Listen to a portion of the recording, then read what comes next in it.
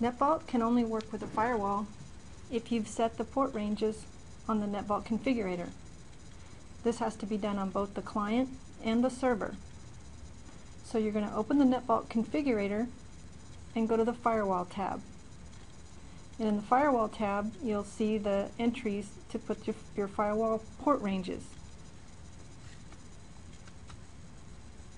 Here's an example of the calculations you need to, to create firewall port ranges for your environment.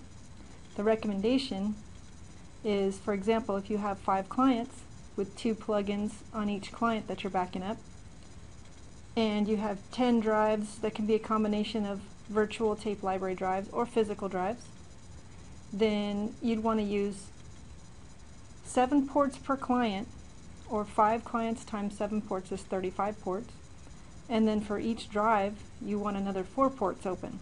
So that's 10 drives times four ports is 40. So a total of 75 ports open.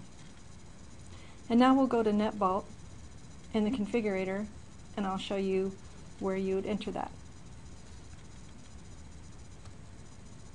So here's the NetVault configurator and we want the firewall tab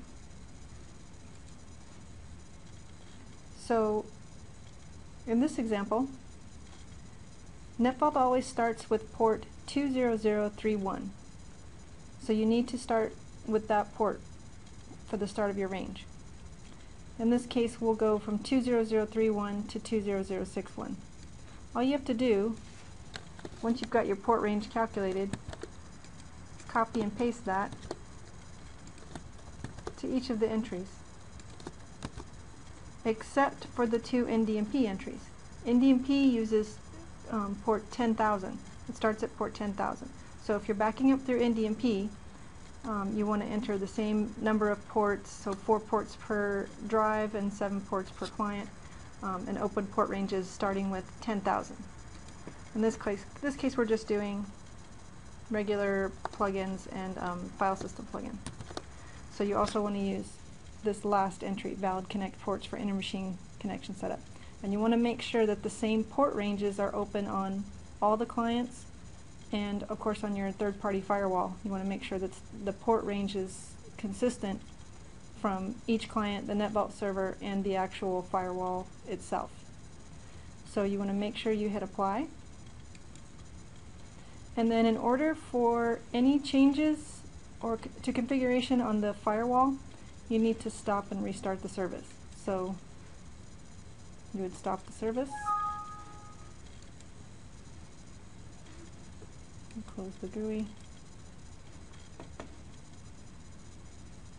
and then restart the service. Okay, and then the other part of this, in order to make sure it's going to be applied, is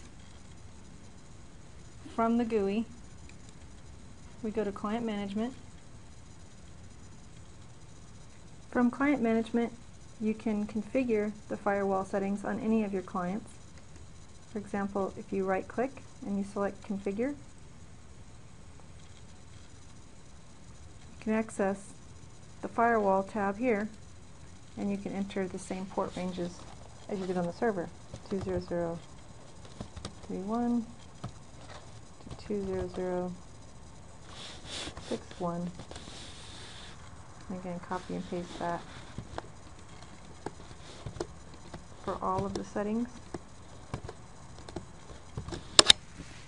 And you can hit apply. The one thing you can't do with the, the remote configurator on the clients is you can't restart the services. So you'll actually have to log on to the client to restart the services um, on each client.